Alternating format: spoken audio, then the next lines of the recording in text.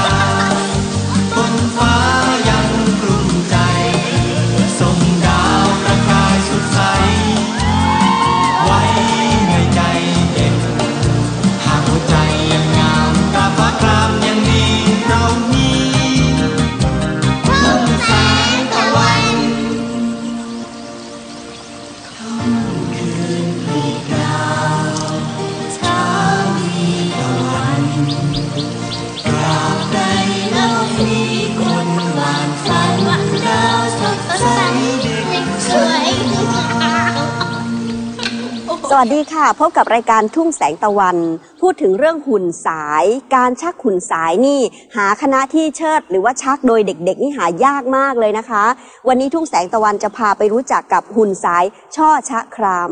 ละครหุ่นชักก็ชั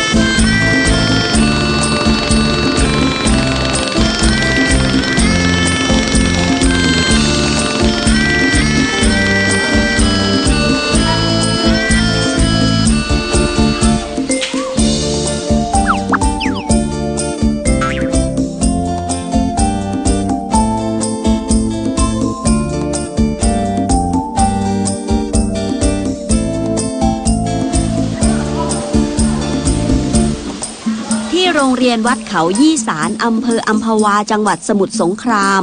มีหุ่นสายร้อยกว่าตัว ศิลปะพื้นบ้านฝีมือชาวบ้านและครู มอบให้เด็กๆ คณะหุ่นสายช่อชักคราม อ้ำกับเพลง พามาดูค่ะ อันนี้บุปเปอร์มาเช่ค่ะ ก็นำกระดาษหนังสือพิมพ์อะค่ะ มาแช่น้ำไว้ พอแช่น้ำเสร็จก็เอากาวมาใส่ค่ะ เสร็จแล้วก็นำมาปั้นค่ะ อันนี้จะเป็นหุ่นไม้แค่ป่านอรภูแล้วก็ไม้ท้องถิ่นของเราค่ะ แล้วแต่ค่ะในท้องถิ่นของเรามีไม้อะไรก็สามารถนำมาทำได้หมดเลยค่ะ จะมีบางตัวค่ะที่ชาวบ้านหรือผู้ใหญ่บ้านเนี้ยค่ะนำไม้มาให้แล้วคุณครูเขาก็จะนำมาประกอบเองค่ะ เด็กๆไม่สามารถประกอบได้ค่ะเพราะว่า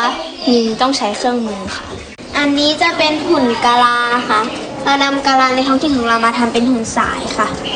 อันนี้จะเป็นหุ่นรีไซเคิลค่ะแบบนำของที่มีอยู่ในท้องถิ่นมาใช้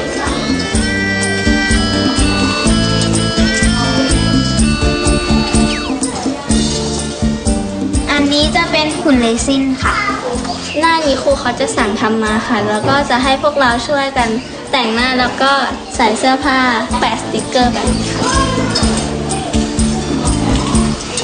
ทุกส่วนของหุ่นสายขยับขยื่นได้ด้วยเส้นเชือก ที่ผูกโยงแขนขาไว้กับคันบังคับ อันนี้เราจะทำแบบนี้ค่ะ แล้วก็สับที่คัน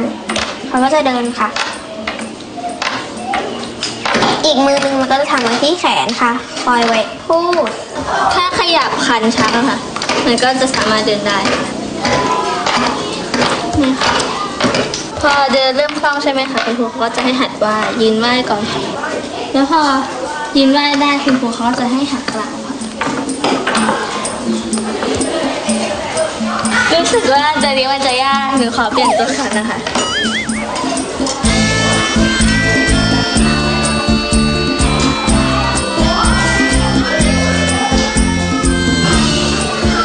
ทำได้ไปนะขอเล่นก่อนจ้ะเป็นหนูใช้เวลาหนึ่งเดือนค่ะในการทำ คุณครูเขาจะให้เด็กทุกคนเนี่ยค่ะคัดหนึ่งเดือนก่อนแล้วคุณครูมาถึงจะพาออกงานค่ะ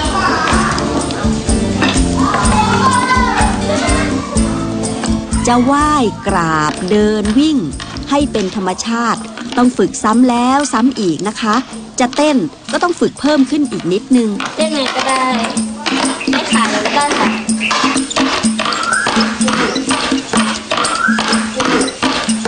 เวลาแสดง หากมีปัญหาเด็กๆก็ต้องใช้ไหวพริบในการแก้ปัญหาเฉพาะหน้าให้ทันท่วงที ไม่ให้การแสดงต้องสะดุดหยุดลง หุ่นเหล่านี้ออกแสดงมาแล้ว 30 เรื่อง ตลอดระยะเวลา 9 ปี เรื่องที่ 31 คลอดแล้ววันนี้ค่ะ อะทั้งเรียนครูก็มีเรื่องใหม่เรื่องนะ เอ๊ะพี่ปอเป็นอะไรตาย พี่ปอเป็นอะไรเออครูก็เลยแต่งเรื่องยุงวายร้ายนะ แต่งแล้วแต่ยังไม่ได้บอกว่าใครเป็นตัวอะไรบ้างนะเอาฟังนะมีมะพร้าวอะใครใครมะพร้าวยกด้วยยกด้วยเออคนนี้ภาคคนนี้นะมะพร้าวนะมะกรูดมะกรูดอ้าวรูปยุงอะไม่ไม่ไม่มีเนาะกระแตกระแตใครกระแตยกสูงๆกระแตกระต่ายรู้ค่ะกระต่ายนะ ประกาศประกาศทำไปจองเจ้าหน้าที่เจ้าหน้าที่นาเดชน์อ้าวนาเดชน์นะจับคู่กันนะ วันนี้หลังเลิกเรียน มะกรูดและมะพร้าวชวนกันไปวิ่งเล่นที่บึงใหญ่ชายทุ่งเพราะที่น้องใบหม่อนป .4 รับหน้าที่ผู้บรรยายเรื่อง มะพร้าวทอดกายลงนอนบนพื้นหญ้า อันอ่อนนุ่ม สายตาแหงนมองขึ้นไปบนฟ้า พลางร้องเรียกให้มะกรูดดู มะกรูดมะกรูด ดูนู่นสิ ยุง ยุงบินกันเต็มไปหมดเลย ร่วมด้วยนนท์ปาล์มแก้ม แอนฟิลส์ป .5 ยุงฝูงใหญ่ออกแรงบินกันอย่างเร่งรีบ ตามคำสั่งของตัวที่เป็นหัวหน้าฝูง เจ้ายุงน้อยลอย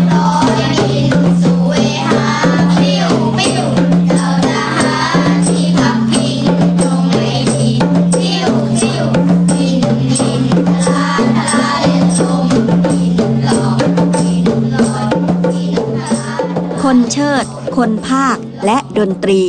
ทุกฝ่ายล้วนสำคัญค่ะ โอ๊ยพ่อจ๋าหนูไม่ไหวแล้วพ่อ หนูหมดแรงแล้ว หยุดพักก่อนนะพ่อนะหนูหิวเหลือเกิน พักไม่ได้หรอกลูก เราต้องไปกินเลือดมนุษย์ พ่อจ๋าหนูสงสารแม่ แม่บินตามมาไม่ไหว ร่วงหล่นลงไปตั้งนานแล้ว เจ้ายุงน้อย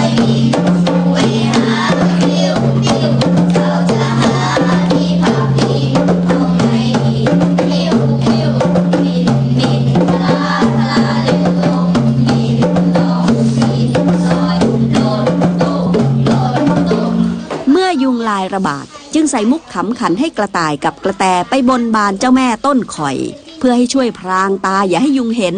จะมาคุณและได้พบกับณเดชที่นำข่าวดีมาบอกว่า เจ้าหน้าที่สาธารณสุขจะมาให้ความรู้เรื่องไข้เลือดออก ไข้เลือดออกมีเฉพาะยุงตัวเมียเท่านั้นหรือว่ายุงลายตัวเมีย ต้องการโปรตีนจากเลือดเพื่อสร้างไข่ และมาหาเหยื่อ ในช่วงเวลากลางวัน มากกว่ากลางคืน ฉะนั้นช่วงเวลากลางวันเป็นช่วงเวลาที่อันตราย ที่จะต้องเลี่ยงไม่ให้ถูกยุงกัดมากที่สุดแต่ทั้งนี้อาการของโรคไข้เลือดออกยาวเหยียดค่ะ ครูติ๋วแต่งเป็นเพลงสนุกๆให้จำง่าย ข้อหนึ่งคุณจะตัวร้อน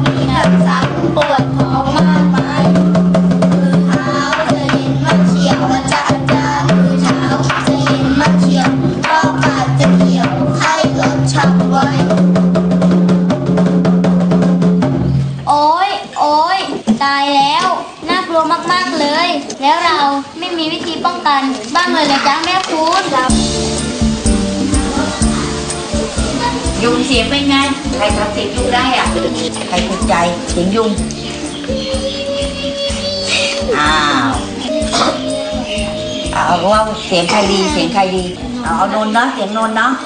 อะเพิ่มอะไรอีกเพิ่มอะไรอีก ช่วยกันปรับเพื่อให้การแสดงถูกใจทั้งคนเล่นและผู้ชมค่ะ ในเพลงยุงไวร้ายก็จะมีอาจาอาจาด้วยค่ะ อาจาจะไม่มีความหมายอะไรค่ะ แค่เสริมให้มันดูน่ารักค่ะ เป็นนักพากย์ก็ต้องมีความอ่านคล่องอยู่ในตัวแล้วค่ะ แล้วพอเวลามาซ้อมเยอะๆ ก็ได้ฝึกมากยิ่งขึ้นค่ะ เมื่อก่อนนี้หนูเป็นคนที่ไม่กล้าออกสังคมค่ะ คนที่อาย พี่ออมเขาก็เลยให้มาเข้าในคณะอยู่ค่ะ หนูก็เป็นอีกคนหนึ่งเลยค่ะ การได้อยู่ในหุ่นสายนี่มันได้รู้ได้หลายอย่างค่ะทำงานเป็นทีม ถ้าเราขาดคนใดคนหนึ่งไปเราก็จะทำงานไม่ได้ค่ะ มีคนอยากเชิดและอยากภาคหลายคนเลือกกันยังไงล่ะคะ เชื่อเราจะเริ่มที่ตัวสูงค่ะ ส่วนคนภาคเราจะเริ่มที่เสียงดีค่ะ ครูเขาจะให้คนภาคฝึกซ้อมไปก่อนค่ะ แล้วก็ให้คนเชิญนั่งฟังว่าบทนี้จะเป็นใครเล่นก่อนเล่นทีหลังเนี่ยค่ะซ้อมครั้งแรกมันอาจจะผิดถูกอะค่ะ คนเชิญก็ต้องดูกับว่าจะขึ้นทางนี้หรือว่าจะลงทางนี้ดีอย่างเงี้ยค่ะ ที่ประทับใจที่สุดก็คือเรื่องโลกร้อนค่ะ เพราะว่าหนูได้ภาคเป็นคนแก่ เรื่องที่หนูชอบที่สุดคือศึกษาคอนฉบับจิ๋วค่ะ ได้เชิดเป็นมารินบังกร ทำเพื่อครูด้วยค่ะ เพราะว่าครูตั้งใจมาก ก็อยากจะให้ครูมีความสุขค่ะ เอาตัวไหนมันเอาตัวนี้ไหมพัก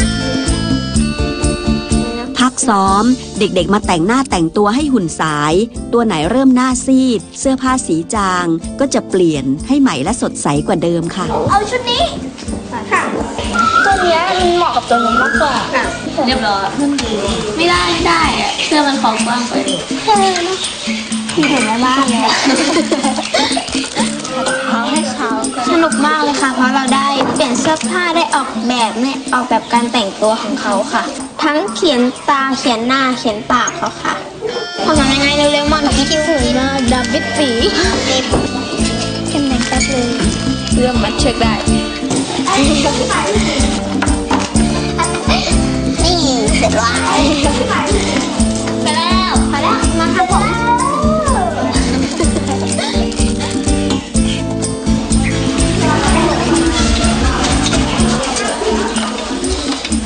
ลาซ้อมอีกรอบแล้ว รอบนี้จะแสดงให้เด็กๆ และผู้ปกครองดู จะได้ช่วยกันติชม ปรับปรุงการแสดงให้ดีขึ้นค่ะ เจ้าแม้ต้นข่อยเจ้าค่ะ ลูกช้างมีความทุกข์เหลือเกินเจ้าค่ะ ปีนี้ยุงมันเยอะมากเลยเจ้าค่ะลูกกลัวจะเป็นไข้เลือดออกเจ้าค่ะ ขอให้เจ้าแม่ช่วยบังตา ให้ยุงมองไม่เห็นเจ้าค่ะ ลูกช้างจะถวายตาตาย อุ้ย ไม่ใช่เจ้าค่ะ ลูกช้างจะถวาย หัวหมูเจ็ดหัว แม่กระแตแม่กระแตเราไม่ต้องกลัวโรคไข้เลือดออกแล้ว เรารู้วิธีกำจัดยุงและอาการของโรคนี้แล้ว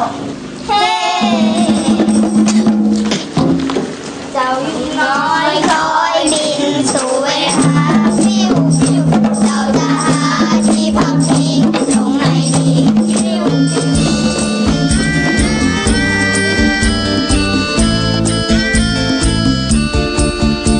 จะชอบอะ มันสนุกอะ มันจะต่อรุ่นต่อรุ่นอย่างเงี้ย อันเนี้ยจะถือว่าเป็นเด็กบ้านนอก เห็นเลยคือกล้าขึ้น เห็นรอยยิ้มผู้ผู้ชม ครูก็มีความสุขดีใจไง หนูรู้สึกมีความสุขค่ะ ที่ได้ใช้เวลาว่างให้เป็นประโยชน์ค่ะ ส่วนของหนูรู้สึกภาคภูมิใจค่ะ ที่ได้เผยแพร่วัฒนธรรมค่ะ รู้สึกประทับใจที่ได้เชิดหุ่นสายให้ผู้ชมดู และเห็นผู้ชมมีความสุขแล้วก็มีความสุขค่ะ อยากช่วยครูสอนน้องๆ แล้วก็อยากเขียนบทให้ครู ถ้าสมมติหนูจบไปแล้วเนี้ยค่ะ ก็อยากมาช่วยครูสารต่อให้อยู่ได้อีกต่อไปค่ะ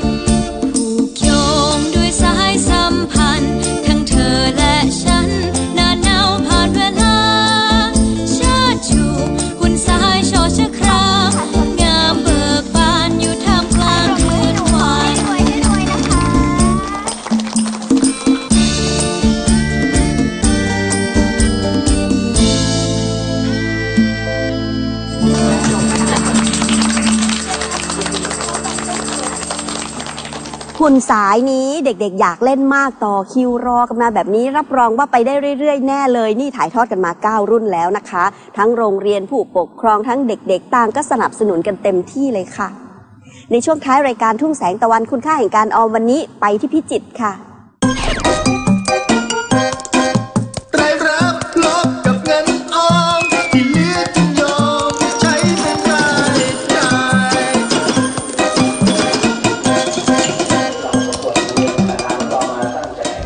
ห้วยพุกวิทยาอำเภอดงเจริญจังหวัดพิจิตรเห็นว่า โรงเรียนธนาคารห้วยพุกวิทยา เป็นกิจกรรมสำคัญ ส่งผลดีต่อเด็กๆหลายด้านค่ะ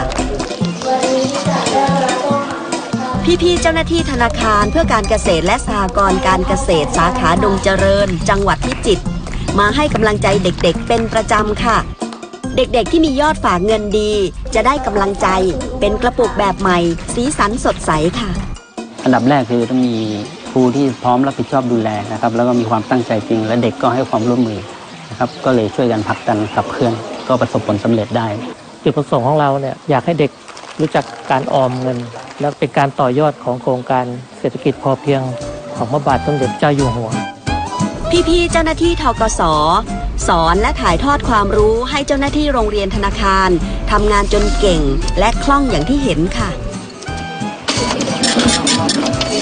ก็ขอเชิญเพื่อนๆพี่ๆน้องๆทั้งบ้านนะคะ มาฝากเงินกันที่โรงเรียนธนาคารเพื่ออนาคตเราค่ะ